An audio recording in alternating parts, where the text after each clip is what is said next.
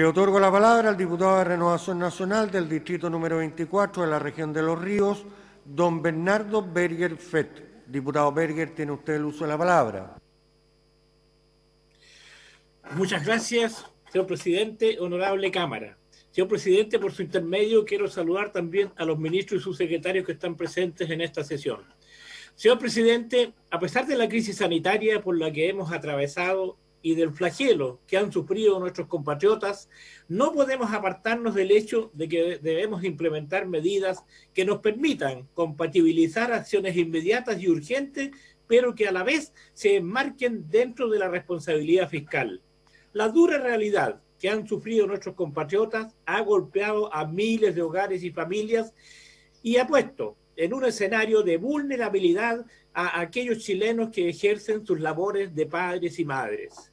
Nuestros niños no pueden quedar desprotegidos en estos momentos de incertidumbre y cuidadores en el hogar, de manera que los niños y niñas más pequeños se puedan beneficiar con su presencia y contención, permitiéndoles entender lo que está pasando y lograr bajar los niveles de ansiedad y temor que atentan contra el desarrollo integral. Este proyecto entonces, en primer lugar, para los niños y niñas más pequeños para que puedan beneficiarse a, estar con sus padres, madres o cuidadores.